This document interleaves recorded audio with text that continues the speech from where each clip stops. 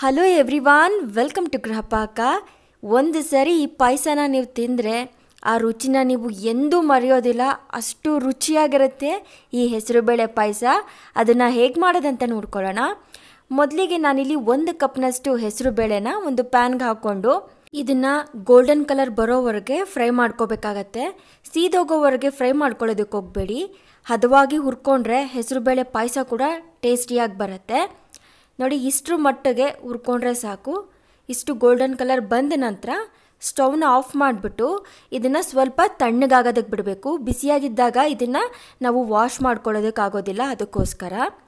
ಈ ರೀತಿ ತಣ್ಣಗಾದ ನಂತರ ಒಂದು ಬೌಲ್ಗೆ ಹಾಕ್ಕೊಳ್ತಾ ಇದ್ದೀನಿ. ಇದಕ್ಕೆ ನೀರು ಹಾಕಿ ಒಂದು ಎರಡು ಸರಿ ವಾಶ್ ಮಾಡ್ಕೋಬೇಕು.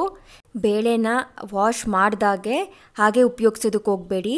ಈ ರೀತಿ ಎಲ್ಲ ಚೆನ್ನಾಗಿ ವಾಶ್ ಮಾಡ್ಕೊಂಡ ನಂತರ ನಾನು ಇದನ್ನು ಕುಕ್ಕರ್ಗೆ ಹಾಕ್ಕೊಳ್ತಾ ಇದ್ದೀನಿ.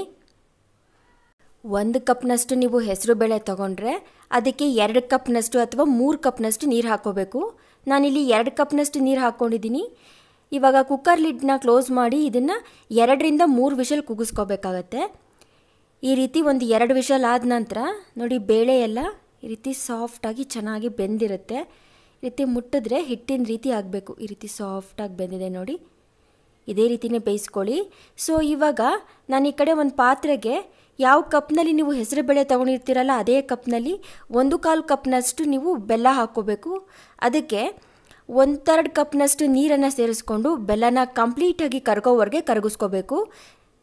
ಈ ರೀತಿ ಜಾಸ್ತಿ ನೀರೆಲ್ಲ ಹಾಕಿ ಪಾಕ ರೀತಿ ಮಾಡ್ಕೊಳ್ಳೋದಕ್ಕೆ ಹೋಗಬೇಡಿ. ಜಸ್ಟ್ ಬೆಲ್ಲನ ಕರಗಿಸ್ಕೊಂಡು ನಾವು ಬೇಯಿಸಿಟ್ಕೊಂಡಂಥ ಹೆಸರು ಬೇಳೆಗೆ ಈ ಪಾಕನ ಈ ರೀತಿ ಶೋಧಿಸ್ಕೊಂಡು ಹಾಕೋಬೇಕು ನೋಡಿ ಈ ರೀತಿ ಹಾಕ್ಕೊಂಡು ಈ ರೀತಿ ಮಿಕ್ಸ್ ಮಾಡಿಕೊಂಡು ಸ್ವಲ್ಪ ಇದು ತಿಕ್ಕಾಗಬೇಕು, ಆ ರೀತಿ ಕುದಿಸ್ಕೊಳ್ಳಿ. ಹೆಸರುಬೇಳೆ ಜೊತೆ ಬೆಲ್ಲ ಮಿಕ್ಸ್ ಮಾಡಿ ಚೆನ್ನಾಗಿ ಕುದಿಸ್ಕೊಂಡು ಗಟ್ಟಿಯಾಗೋವರೆಗೆ ನಾವು ಇದಕ್ಕೆ ತೆಂಗಿನ ಹಾಲನ್ನು ಹಾಕಬಾರ್ದು. ನೋಡಿ, ಇಷ್ಟರ ಮಟ್ಟಿಗೆ ಗಟ್ಟಿಯಾಗಬೇಕು. ಇಷ್ಟಾದ ನಂತರ ನಾನಿಲ್ಲಿ ಸುಮಾರಾಗಿ ಎರಡು ಕಪ್ನಷ್ಟು ತೆಂಗಿನ ಹಾಲನ್ನು ತೊಗೊಂಡಿದ್ದೀನಿ. ಇವಾಗ ನಾನು ಯಾವ ಕಪ್ನಲ್ಲಿ ಹೆಸರುಬೇಳೆ ಬೆಲ್ಲ ಎಲ್ಲ ತೊಗೊಂಡಿದ್ನಲ್ಲ, ಅದೇ ಕಪ್ನಲ್ಲಿ ಎರಡು ಕಪ್ನಷ್ಟು ತೆಂಗಿನ ಹಾಲನ್ನು ಹಾಕ್ಕೊಳ್ತಾ ಇದ್ದೀನಿ. ಆನಂತರ ಇದಕ್ಕೆ ಒಂದು ಕಾಲು ಕಪ್ನಷ್ಟು ಒಣಕೊಬ್ಬರಿ ತುರಿನೂ ಕೂಡ ಸೇರಿಸ್ಕೋಬೇಕು. ಈ ಹೆಸರುಬೇಳೆ ಪಾಯಸಕ್ಕೆ ಒಣಕೊಬ್ಬರಿ ತುರಿ ಒಳ್ಳೆ ಟೇಸ್ಟ್ ಕೊಡುತ್ತೆ. ನೀವು ಬೇಕಾದರೆ ಹಸಿಕಾಯಿನೂ ಉಪಯೋಗಿಸ್ಕೊಳ್ಬೋದು. ಒಣಕೊಬ್ಬರಿ ಉಪಯೋಗಿಸೋದ್ರಿಂದ ಟೇಸ್ಟ್ ಜಾಸ್ತಿ ಬರುತ್ತೆ. ಮಿಕ್ಸ್ ಮಾಡಿಕೊಂಡು ಇದನ್ನು ಕುದಿಯೋದಕ್ಕೆ ಬಿಡಬೇಕು.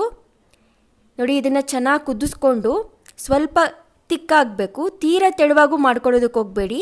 ನೋಡಿ, ಇಷ್ಟರ ಮಟ್ಟಿಗೆ ತಿಕ್ಕಾದ ನಂತರ ಸ್ಟವ್ನ ಆಫ್ ಮಾಡಿಬಿಟ್ಟು ಈ ಕಡೆ ನಾನು ಮತ್ತೊಂದು ಪ್ಯಾನ್ಗೆ ಎರಡು ಟೇಬಲ್ ಸ್ಪೂನಷ್ಟು ತುಪ್ಪ ಹಾಕಿ ಬಿಸಿ ಮಾಡ್ಕೊಳ್ತಿದ್ದೀನಿ.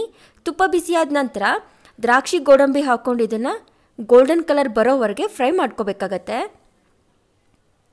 ಈ ರೀತಿ ಫ್ರೈ ಮಾಡ್ಕೊಂಡ ನಂತರ ಪಾಯಸಕ್ಕೆ ಹಾಕಿ ಮಿಕ್ಸ್ ಮಾಡ್ಕೊಳ್ಳಿ. ತುಪ್ಪನ ಇಷ್ಟೇ ಹಾಕೋಬೇಕಂತೇನೂ ಇಲ್ಲ. ನಿಮಗೆ ಇಷ್ಟ ಬಂದಷ್ಟು ನೀವು ತುಪ್ಪನ ಉಪಯೋಗಿಸ್ಕೋಬೋದು. ಸುಮಾರಾಗಿ ಒಂದು ಕಾಲು ಕಪ್ನಷ್ಟು ಕೂಡ ನೀವು ತುಪ್ಪ ಸೇರಿಸಿದ್ರು ಹೆಸರುಬೇಳೆ ಪಾಯಸ ತುಂಬಾ ರುಚಿಯಾಗಿರುತ್ತೆ. ಇದಕ್ಕೆ ಒಂದು ಅರ್ಧ ಟೀ ಸ್ಪೂನಷ್ಟು ಏಲಕ್ಕಿ ಪೌಡರ್ನು ಕೂಡ ಹಾಕಿ ಮಿಕ್ಸ್ ಮಾಡಿಕೊಂಡ್ರೆ ಬಿಸಿ ಬಿಸಿಯಾದ ಹೆಸರು ಬೇಳೆ ಪಾಯಸ ತಿನ್ನೋದಕ್ಕೆ ರೆಡಿ ಆಗಿಬಿಡುತ್ತೆ. ಮಾತ್ರ ಟೇಸ್ಟು ಅಲ್ಟಿಮೇಟ್ ಆಗಿರುತ್ತೆ. ನೀವು ಒಂದು ಸರಿ ಮಾಡ್ಕೊಂಡು ತಿಂದು ನೋಡಿ, ಮತ್ತೆ ಮತ್ತೆ ನೀವೇ ಮಾಡ್ಕೊಳ್ತೀರಾ. ಅಷ್ಟು ರುಚಿಯಾಗಿರುತ್ತೆ. ಸೊ ಮಿಸ್ ಮಾಡ್ಕೊಳ್ಳದೆ ಈ ರುಚಿಯಾದ, ಶುಚಿಯಾದ ಹೆಸರುಬೇಳೆ ಪಾಯಸನ ಒಂದ್ಸರಿ ಟ್ರೈ ಮಾಡಿ ನೋಡಿ. ಹೇಗೆ ಬಂತಂತ ಮರಿದೆ ಕಮೆಂಟ್ ಮೂಲಕ ತಿಳಿಸಿ.